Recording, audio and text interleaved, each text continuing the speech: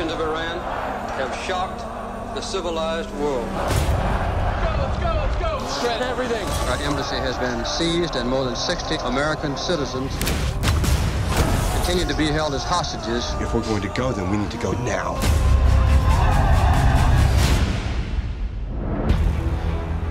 What happened? Six of the hostages went out a back exit. Where are they? The Canadian ambassador's house. You got Revolutionary Guards going door to door.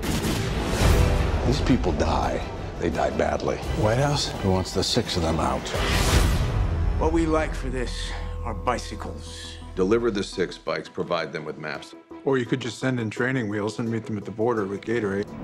It's gonna take a miracle to get them out. Buddy man, what are we watching? I got an idea. They're a Canadian film crew for a science fiction movie. I fly into Tehran. We all fly out together as a film crew.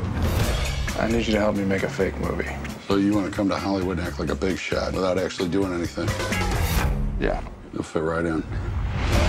You need a script? Argo, science fantasy adventure. Moonscape, Mars, desert. You need an exotic location to shoot. You need a producer. If I'm doing a fake movie, it's going to be a fake hit.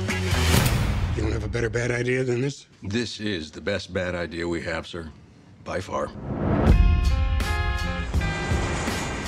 You have 72 hours to get them out. They're getting a visitor.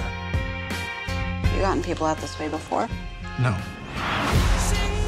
You're asking us to trust you with our lives. This is what I do, and I've never left anyone behind.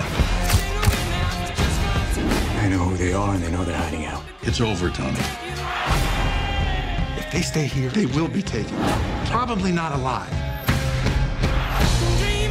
We're responsible for these people. I'm responsible.